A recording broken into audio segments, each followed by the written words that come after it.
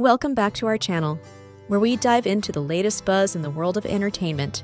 Today, we're delving into the whirlwind of emotions surrounding the beloved love team of Maris Racal and Anthony Jennings in the hit series Can't Buy Me Love.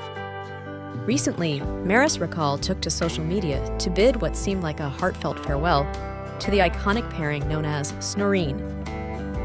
A fusion of Snoop and Irene, portrayed by Anthony Jennings and herself in the series. In her post, Maris expressed gratitude for the love and support their tandem received, particularly in the wake of a significant plot twist where Irene revealed that Snoop wasn't the father of her child.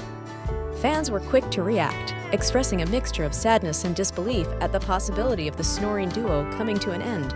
However, amidst the melancholy sentiments, many fans remain hopeful for the future of Snorene, speculating on potential storylines where the duo might reunite in new adventures. Some fans even theorize that future plotlines could see Aunt Kathy, Irene's employer, bringing both Irene and Snoop together again, either in a new work assignment or perhaps in Snoop's hometown.